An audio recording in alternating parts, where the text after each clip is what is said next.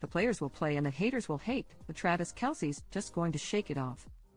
On Thursday night, April 11th, the Kansas City Chiefs star danced around to his girlfriend Taylor Swift's hit 2014 song, as he called it one of his favorites during a special event hosted by Travis and his brother, Jason, at Fifth Third Arena in Cincinnati, Ohio. The famed siblings held a live taping for their New Heights podcast, calling the event New Heights Live. We gotta talk about it. At the venue, Travis and Jason electrified a packed crowd of fans with special effects such as smoke and confetti. At one point during the evening, the NFL stars even received their college diplomas and dressed up in caps and gowns to celebrate the spontaneous commencement ceremony. During the live show, the Chiefs tight end and the recently retired Philadelphia Eagles center were participating in the Lawn Baby Games, a competition the comedic duo created for the event.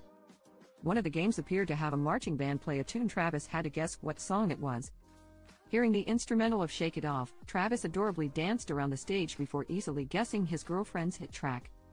While Taylor didn't make an appearance at the fun filled event, Cincinnati Bengals quarterback Joe Burrow and former Chiefs tackle Orlando Brown Jr., who now plays for the Bengals, graced the arena with their surprise presence.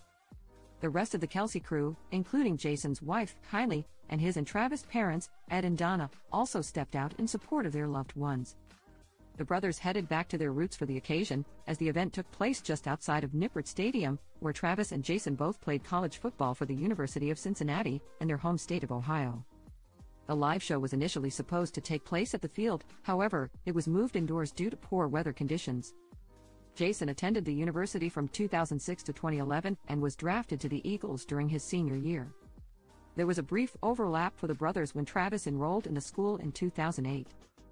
He stayed a student until 2012 before being drafted by the Chiefs in 2013.